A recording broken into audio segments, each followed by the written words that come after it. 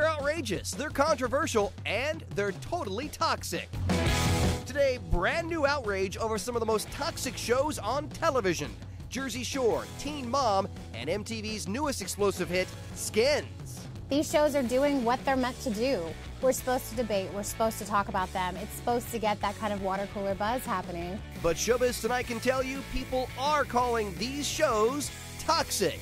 And today, MTV's most controversial show, Skins, is feeling the heat. Give her a big hello from me. There's big buzz today that Skins is in danger of being canceled after only its second episode. The show, originally created in Britain about young teens having sex and doing drugs, has caused so much outrage, six major advertisers pulled out. And the Parents Television Council tells Showbiz Tonight it is definitely toxic. People are calling skins the worst thing to happen to your televisions ever. Kids have sex. Kids do drugs. It happens. Today, Showbiz Tonight is setting the record straight on those cancellation reports. MTV tells Showbiz Tonight Skins is not going to be canceled, saying Skins has earned the loyalty of fans across the globe for its thoughtful and honest portrayal of teen life today. The show has been honored with a long list of prestigious awards. MTV stands by the U.S. adaptation of Skins and the vision of its creator, Bryan Elsley. They're fine. Let's face it, Skins is just as controversial as MTV's Jersey Shore was when it first hit the toxic tube. Back then, the controversy was intense. It's as intense as their tans. When it debuted last year, people were outraged. Heck, people are still outraged. Sounds like a good time. What bed do we do it in? And today, Showbiz Tonight can tell you there's brand new toxic outrage over new plans for the cast of the Jersey Shore to tape their next season in Italy. Some Italian Americans are mortified that this crew will be representing Americans in their homeland. I'm gonna eat this potato by itself.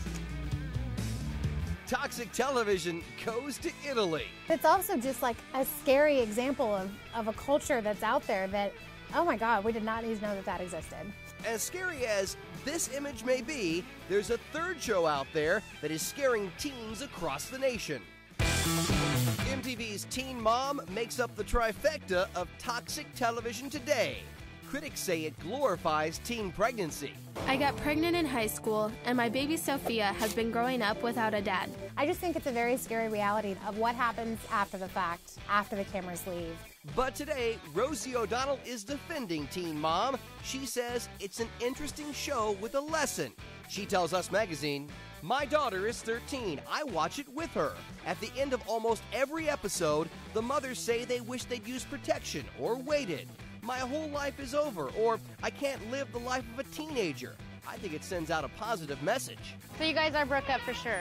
Oh yeah, 100%. The big question remains today if MTV keeps pushing the envelope like this, what's next? When Jersey Shore first started, it was definitely that shocking TV show. And now it just seems like yeah, they're famous. They're household names now. Which means six months from now, the cast of Skins might be cooking with Martha Stewart. And if this racy new show becomes a household name, who knows what toxic new show lurks just around the corner? I think it's going to get scarier before it gets better.